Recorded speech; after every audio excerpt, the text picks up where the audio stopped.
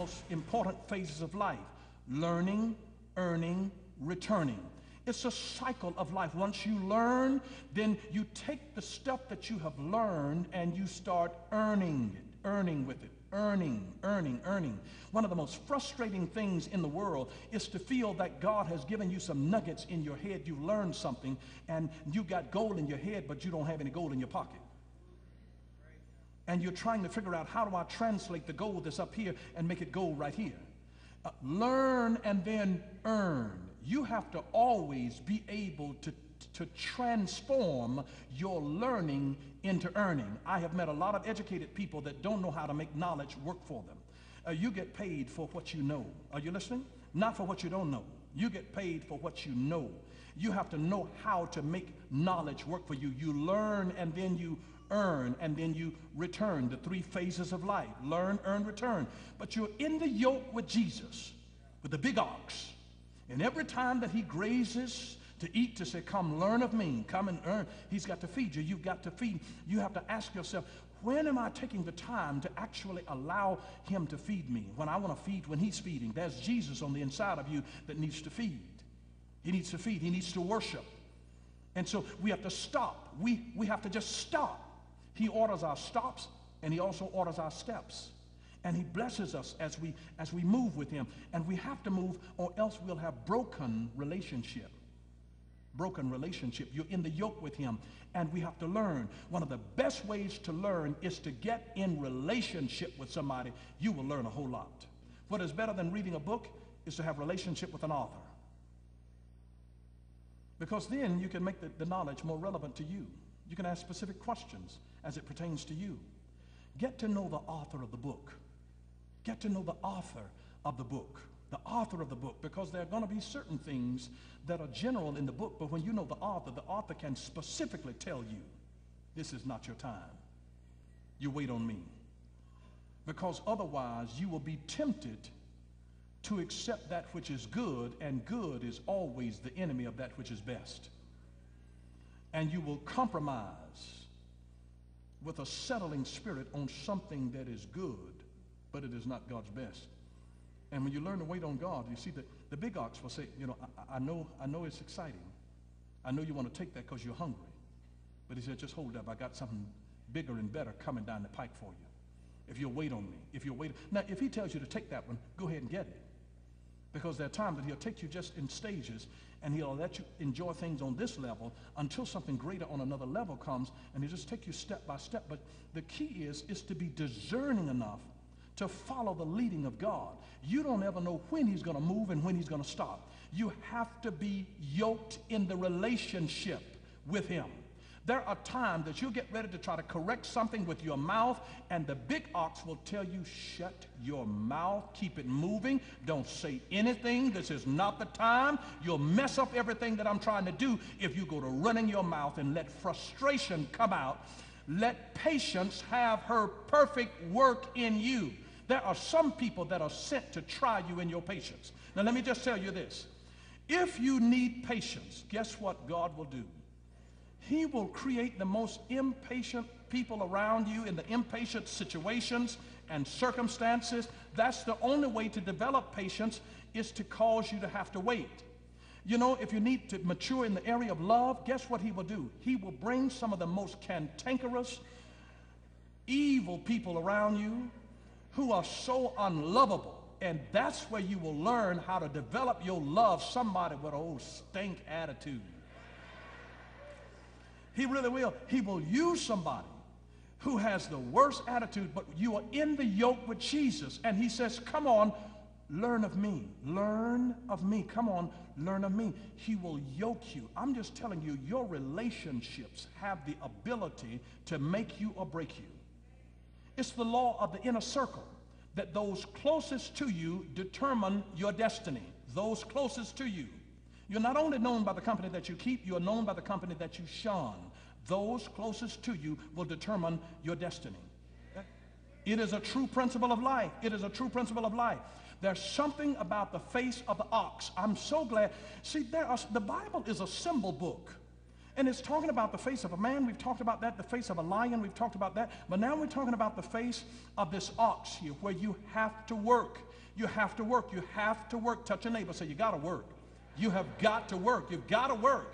There's no, there's just no way around it. I know it may be unpleasant, but listen, guess what happens if you don't work? You know another, you know another word for when you really understand, you're talking to an etymologist now, but dysfunctional means not working. It means not working. If you have a dysfunctional relationship, a dysfunctional household, that means it's not working. Whatever's going on here is not working. We were designed to work. You are engineered for excellence. You were designed to work. You were designed to work. I'm just telling you, I know some wealthy folks, and some of them, they actually got to a position so young and uh, don't have to work another day in their life, call themselves retiring, going to get on a yacht and sail around the world and play golf every day and do all this kind of stuff. And in, within three months, all of them got bored. You know why? Because we are designed to work. We're designed to work. You're designed to work. Now, I know that some people look at some other people and talk about successful folks and they feel like they're lucky. Yeah, absolutely. You will find out that the harder you work, the luckier you'll be. You really will. Now, write luck as an acronym down on your paper, L-U-C-K. Write it vertically, vertically, L-U-C-K, because luck simply means labor under correct knowledge. It's labor under correct knowledge. Don't just work hard, work smart. You have to labor under correct knowledge. Now, that, so the question is, what is it that I need to, to know? That I need to be operating on a certain level because you're going to get paid based on, the, on your mindset, where your mind is set. You get paid for the level of problems that you solve. Are you listening? So there's something that has to happen here that, that, that is going to change some things. Labor under correct knowledge. There's something that you need to know. There's something that you need to know. And, and let me just say this to you that God is not going to just bless you because you prayed. Wouldn't that be wonderful if we could just pray and then boom, pow. Money just starts coming from everywhere. No, no, no. It, it, it doesn't work that way. Uh, you pray and then you go to work you ask God to bless your way. You, you ask him to bless as you sow your seed. But you see, if you have sown no seed, you can expect no harvest. So you ask God to prosper only what you're willing to do. Notice Psalm 1 and he shall be like a tree planted by the rivers of water, and whatsoever he doeth shall prosper. That means that if he's not willing to do anything, it will not prosper. Now, I'm going to tell you a little story of what happened today. I'm not going to call any name to protect the innocent. But those to whom I'm speaking, they know, but I'm just not the kind of person that would expose a person. But a certain person driving a vehicle today ran out of gas. I happened to be driving near them. They ran out of gas in the parking lot of a gas station.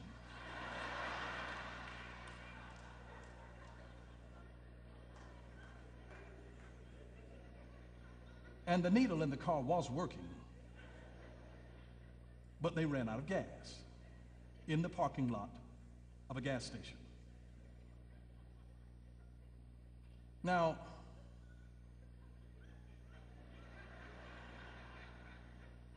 I got out of my car to go to help push their car. And nobody came to help until I got out of the car trying to push the car.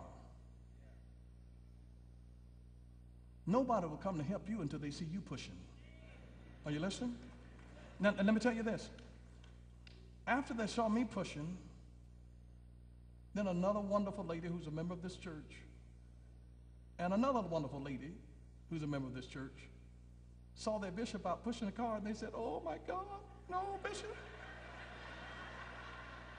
And I'm going to tell you, these women had eaten their Wheaties.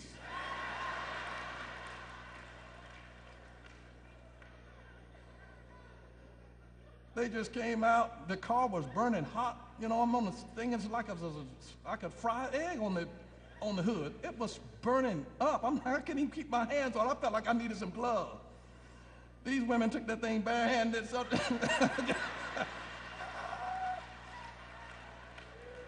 but now let me tell you, that had the bishop not been out pushing, praying until something happened, you know, praying while I'm up. Listen, you got to push while you pray. You pray and you push at the same time. You pray and you push. God, help me. God, give me strength. You know, you got to do all of that. You got, you got to work. It's faith and works. But no help came until I got out of the car and started pushing. Nobody's going to help you until they see you pushing. You, we don't, you don't feel good about helping folks when they're too lazy to participate in the process of their own deliverance. So roll up your sleeve and, and I'm telling you that the best hands that you will ever find, the helping hands, are at the end of your own elbows. And so if you do that, somebody else then will become encouraged to then come and, and help you. And so two ladies came, and then a man came. And so it got easier. And then another man came. But had nobody ever gotten out and started pushing, nobody would have ever come. Had we just been out with the hood raised, nobody would have just come to help us push. We needed a push. And so one person has got to start the pushing process, and then another will come. Your help, you will attract help when people see you doing everything that you can do. And so doing that, and then two ladies came, and then a man came, and then another man came. And let me just tell you, as the more you work, the harder that you push, the better that the help that God will send you. It started off with two women, and then God sent one man, and then he sent another man. Then he sent a man with a truck who had a gas can.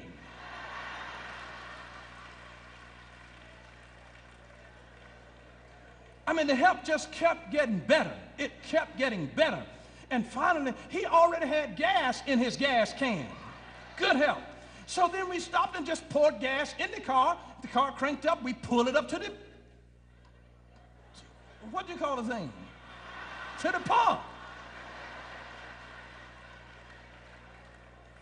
I'm just here to tell you that if you ever feel like you're running out of gas and stuck out in the middle of the street, don't just sit there. Get out of the car and start pushing, start working on something.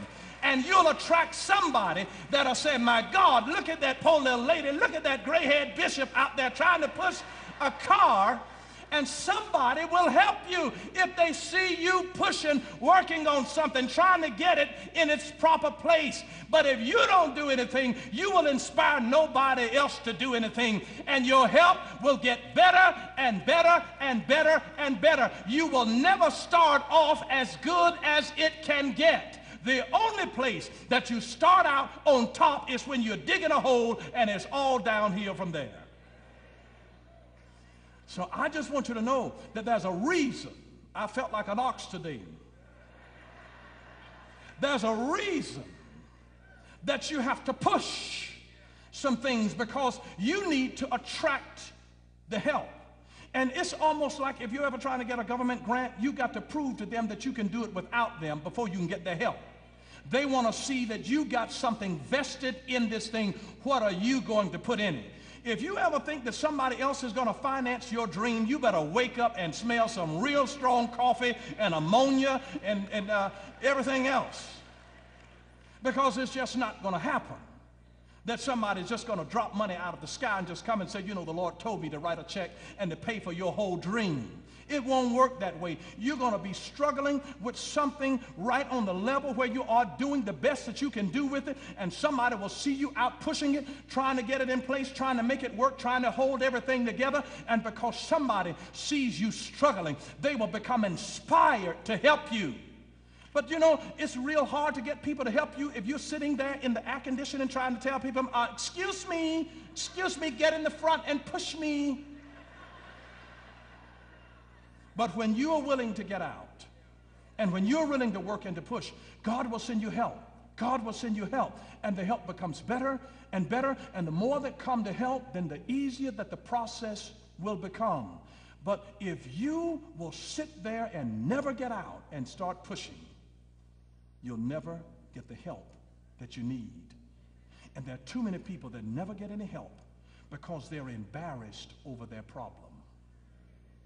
And until you can get over your little embarrassment, you will never be able to attract the real help that you so desperately need. And that's why one of the faces of this creature was the face of an ox. I hope that I'm helping to bring the scriptures alive to you in a way that you realize that this is something that God wants me to understand that I'm going to have to work like an ox. I got this from a, from a dear lady. She said that every woman needs to know four things. How to dress like a girl, how to act like a lady, how to think like a man, and how to work like a dog. And you'll be surprised that when people see you doing the best that you can possibly do, they are inspired to help you. And when you are faithful in little things, doing the best that you can right on the level where you are, you will be surprised. You will be surprised. You will be surprised what God will do. I started my ministry in my public high school where there were uh, me and four other people. There were just five of us. But you know, I ministered to those five as though I was dealing with 5,000. And if you'll ever just start pushing with whatever you have, I didn't know nearly as much as I know now, but I pushed with everything that I had. You got to push with everything that you've got at the time because all of the stuff that you need in order to get what you want is right up your own sleeve. And if you'll get out and start pushing, there is a face of an ox where you got to have a mind to work a mind to work because when the walls of Jerusalem were in ruin, the people, the Bible said, had a mind to work. You know what an attitude is? An attitude is a frame of mind. It's a frame of mind. Have you ever met people with a frame of mind where they just don't have the mind to work and they're always griping and complaining? You know what the root word of the word misery is? It is the word miser. And a miser is a stingy person. Every miser that I know is miserable. Every miser. And they want great things to come to them, but they don't want to do anything that requires something great. If you want uncommon results in your life, you must have uncommon practice. You got to be able to work like an ox. And you get yoked with somebody who knows what they are doing. Please be mentored by somebody who knows what they are doing. Get mentored by somebody who knows what they're doing. Don't you all try to figure it out together, and both of you are just, you know, I mean, the blind can't lead the blind, else they both fall into the, the ditch. That's scripture. That is, I didn't make that up. It is scripture. You get, they, the pattern in the Old Testament was to always yoke a seasoned ox with a young baby ox to teach them the ropes, the ways of life, when to move and when to bow down and eat, when to rest, when to hold it, and when to pull and when to stop. The big ox trains the young one, and without saying a word, you begin to learn when to move, even when, you know, you don't have to go telling people, you know, uh-uh, wait, uh-uh, wait, child, so I feel something in my spirit. I think God telling me to stop. it'll just be a knowing. It, will just be a knowing. I mean, something on the inside of you, it'll just, it, will say rest. It, will just say rest. I, I don't think that I need to do anything further right at this moment. I just need to chill. And, and he's saying that there's a dimension of us that once you're in the, in the dimension of just a man and doing the things that men and women do, that's, that's one side of us. Another dimension is when something is wrong in your life and you need to correct it and you need to have the boldness of a lion. And that's another dimension, that face of a lion to deal with unpleasant situations that need to be confronted in your life. And the other is this face of this ox who is willing to work and there are times when things that need to get done, that you need people that have the face of an ox. And when you get behind in responsibilities, you need to have the face of an ox. And when it's time to clean up, you got to put on the face of an ox. And you have to get the job done. When you've got people that will put on the face of that ox, where they've been trained, you can tell trained people. You save time when you get trained. You don't waste as many resources when you get trained. And there's a reason that he would yoke the experience with the inexperience, that he would yoke wisdom with foolishness. God has a plan. He's up to something. He's not going to yoke two fools together. He will yoke people together who need each other. Where this one has something that this one needs, and that one has something that that one needs. It's amazing that in the best working relationship, God pulls people together where opposites attract.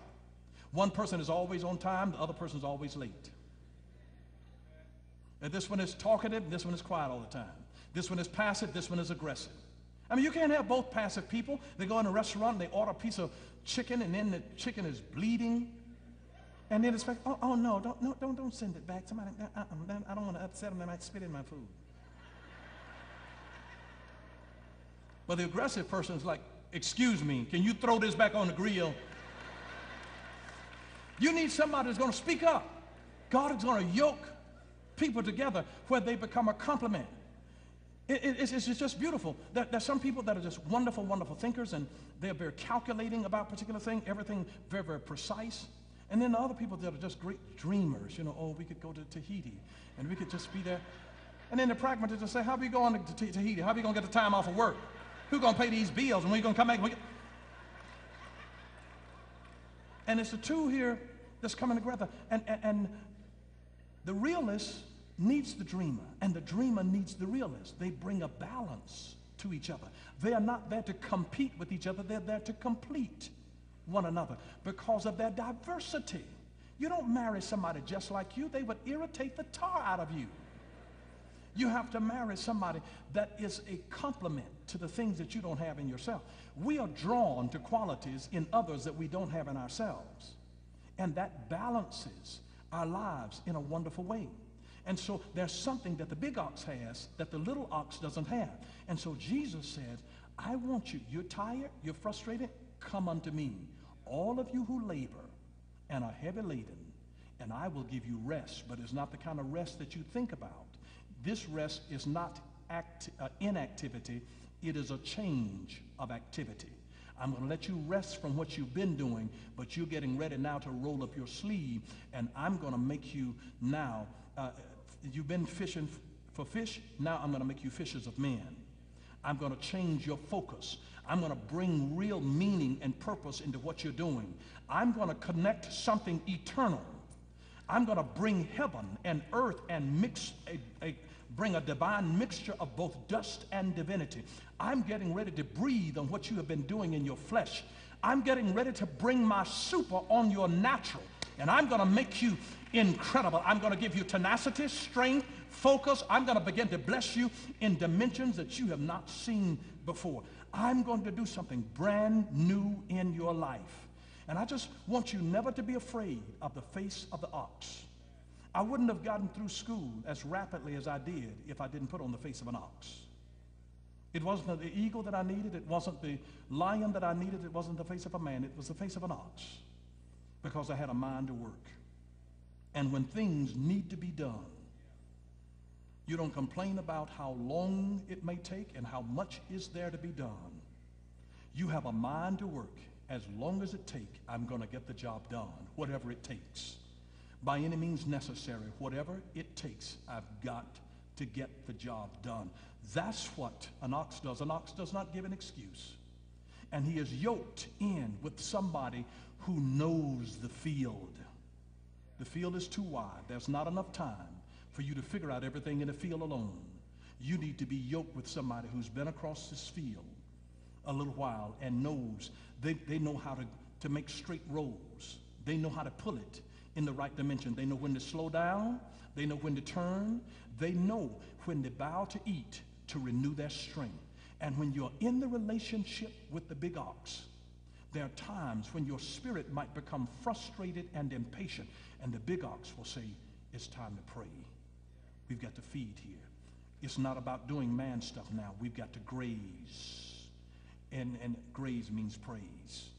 It means pray. It means praise God. It means meditate on things from the Word of God. It means get life on the inside of you because something supernatural is getting ready to happen in your life. Well, I hope that you understand the face of the ox a little better.